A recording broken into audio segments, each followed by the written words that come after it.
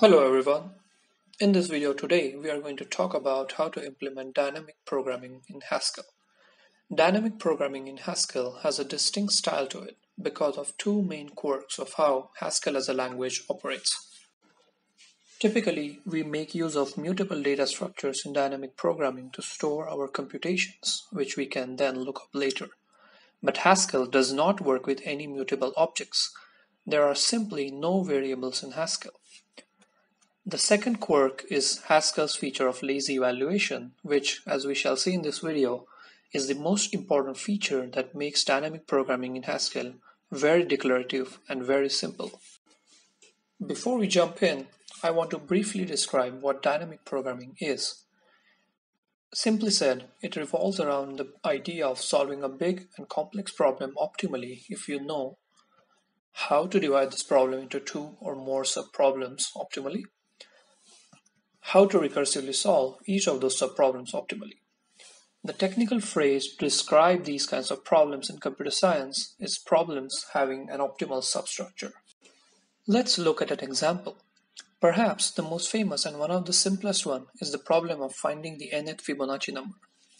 Any Fibonacci number is recursively defined as the sum of its two predecessors except for the first two numbers which are just defined as 1.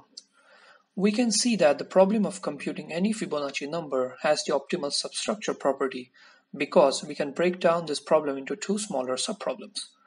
Assuming we know how to compute the n-1th and n-2th Fibonacci number optimally, we can solve for nth Fibonacci number optimally as adding the answers of the two subproblems is a trivial task. Note that we can just write a program to solve this problem using recursion in any of the modern programming languages such as Java as you can see here on your screen. But it would be terribly slow since we are constantly recalculating previously computed solutions again and again. To demonstrate this, let's implement this naive approach in Haskell. So let's define a function called fibsrec. The type signature for this function is from integer to integer. And we can use condition guards on the argument to say that for any n less than or equal to 1, we are going to simply return 1. Otherwise, we are going to make a recursive call on n minus 1 and another recursive call on n minus 2. And simply adding up the results, okay? The program compiles, let's reload our module, and let's see if we can get it. So the zeroth Fibonacci number is 1, first is 1, second is the addition of 2, and that works. In fact, if you want to just map this from 0 to 10, then you can get the first 11 Fibonacci numbers. But to demonstrate how bad this solution really is, let's try to calculate maybe like 31st Fibonacci number. And as I hit enter, you can see that it takes at least a couple of seconds to calculate the value. Well, that's not good. It's just the 31st number. What if I do something like fibs rec 100? Then as you can see, the program is stuck because it is recalculating the subproblems again and again and again and just wasting time. How do we optimize this? Well, in order to speed up the time of execution, we need to perform the time and memory trade-off. As we solve any of the subproblems for the first time, we store the result of that subproblem in our memory. When we encounter that subproblem again, we don't recalculate, but simply look it up from the memory. As I said before, in Haskell, we cannot allocate a variable data structure like an array to hold the solutions to its subproblems and then look up whenever we need them. However, we can make use of Haskell's lazy evaluation feature and self-referential data structures to build up the infinite list of solutions to these subproblems. Let's see this in action. So in Haskell, I can define a statement like ones, which is a list of ones, like this. And this compiles without any problem. Because, yeah, ones, a list of ones is one appended by another list of ones. Until I force Haskell to evaluate all the ones, it won't calculate them. But once forced to, it will keep on lazily evaluating until the infinity or until I interrupt this program. However, this doesn't mean that this definition is useless. If somewhere I just need a list of three ones, I can say take three ones and the program will terminate with the desired output. Let's use this in our dynamic programming solution to calculate the Fibonacci numbers.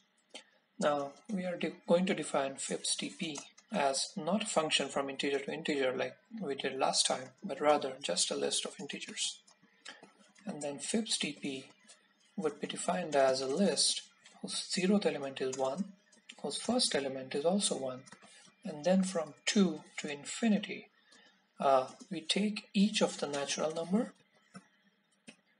and then just map it to the recursive definition that we had seen before.